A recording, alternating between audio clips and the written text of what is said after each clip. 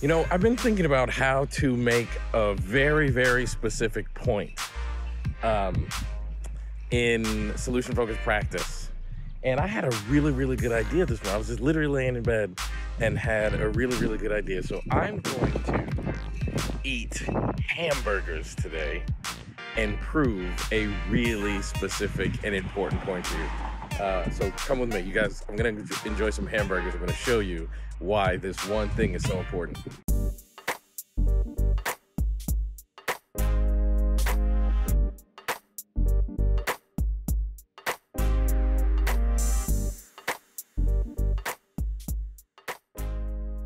Okay, first of all, I apologize for the wind. I'm sure you guys can hear too much wind. I'm not a professional filmmaker or anything, but here we are, burger place number one. Let me turn around and show you. There you go, everybody will recognize McDonald's. So I'm gonna get a McDonald's burger and um, show you guys something super important. Now, um, I'm gonna get the most popular and most famous burger that they have at McDonald's, the Big Mac. I just want a, Big Mac. The Big Mac? Yeah, it's Big Mac. So they have like an assembly line back there to put the burgers together, right? So um, there's actually like a tray of burger patties and they put the burger patty on the bun and then they put whatever condiments or whatever goes in the Big Mac and then you put it, they put it all together. So it makes me wonder how long those burger patties have been sitting in that tray. But I can watch, like I'm watching them. Uh, they're not so much making my burger as much as they are assembling it. Like I said, I'm not making this video to criticize McDonald's. Um, I actually like Big Macs. But I do have a I do have a point, so hang. But anyway, so let's dig in this burger and have a bit a bit of a chat. So McDonald's is an extraordinarily successful company. Billions and billions of dollars. They've been around forever. And one of the things that makes McDonald's so successful is something that they call their standard operating procedures, SOPs. And the standard operating procedures ensure. So I'm in uh, Dallas, Texas, and the standard operating procedures ensure that an employee in Dallas, Texas can make a Big Mac in the exact same way that an employee in like London, England can make a Big Mac. So I can come to the McDonald's like anywhere around the world and have the same experience. Like they didn't make this burger for me, they assembled it. And the purpose of it is for consistency.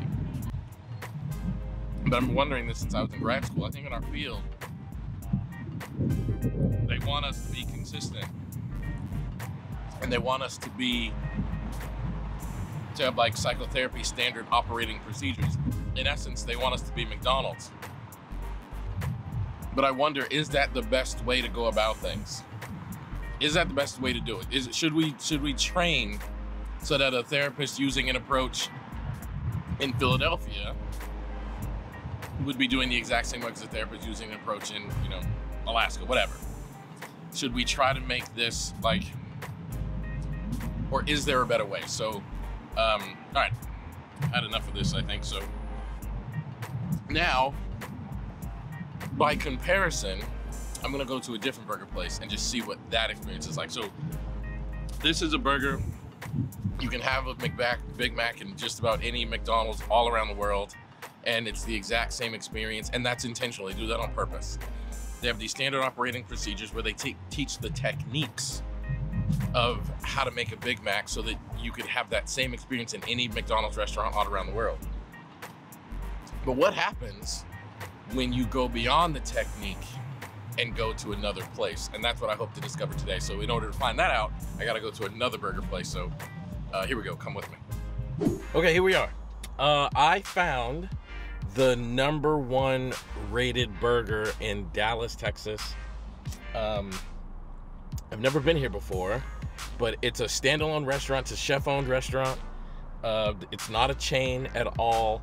So I'm excited to compare the experience of uh, a chef-made, chef-owned burger versus the McDonald's experience of like the assemble line burger. So, so this place is called Dugg Burger. They've never even heard of it, but apparently it's the best burger in Dallas. So let's see. Um, did I hear you say this is like build your own burger concept? Yes. Okay. Uh, I'll have a bun, What kind of protein? uh, a beef patty, Any cheese on that? uh, cheddar. And you can add fries or? I'll have fries, but I just want ice water. And your name? Elliott. And do I pick like what condiments and like? Oh my god, awesome. No pickle or onions. What is that? Oh wow. Can I have those onions? Any bacon? No, no bacon. Is that gonna be all? That'll be it. So right off the bat, um, it's a completely different experience. Like you got to build your burger, and you could see. I tried to capture it on camera. I think they were staring at me, a little bit uncomfortable, but you could see they didn't start making the burger until I ordered it, and the ingredients to go into the burger were like in these pans that are just super fresh, super vibrant. The place smelled great. I'm actually super excited to taste this burger. Um, I had the McDonald's burger several hours ago, and it's ugh, still on me. So, and, and like I said, I, kind I, I usually like the McDonald's burger, the Big Mac, but I don't know. The other thing I noticed is um, they had like the, these fresh buns, and then once you ordered, they like start toasting the bun on this really like special toaster thing um, which I thought was pretty cool. And and you know you can see that there's technique there. So I don't want to want you guys to think that I'm saying like it's bad to have technique. But I think what I would say it's bad to just have technique. You also have to have personalization. You also have to have creativity. You also have to have fluency and mastery and skill and passion. Um, you also have to have those things in combination with your technique. Like technique alone just leads to a very superficial experience. And I think that's true in burgers and I think that's true in psychotherapy. And in order in order for for us to really maximize the impact we can have on uh, our client lives, I think we have to bring more to the table than just our techniques like clearly there are techniques even here at this like super specialized burger place that I found, which is totally like when I searched on Google, this is the highest ranked uh, burger place in the city. Um, but even here, it's clear there are techniques. Like if they were gonna hire me to be a burger chef, they would they would have to show me the the techniques that they use uh, to produce the quality burgers that they have. Oh, here it is.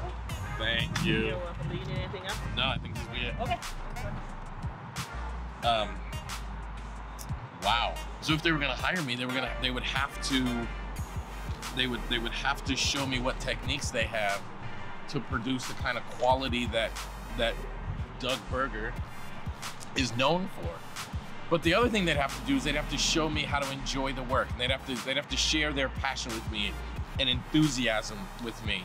Because again, technique is not enough. And like, look, this is just a whole look at it, it's just a different I mean I wish you could smell it and I wish you could touch it, but it's just a different it's just a different experience. Here, I'm gonna take a bite out of it. Yeah. It's just not even comparable. Like a freshly cooked burger versus the assembly line burger at McDonald's is just a different experience. So I hope you guys see what I'm saying. So in conclusion, what did we learn today? We learned that you can use techniques and produce quality. That's actually true. Like you can use standard operating procedures and produce quality.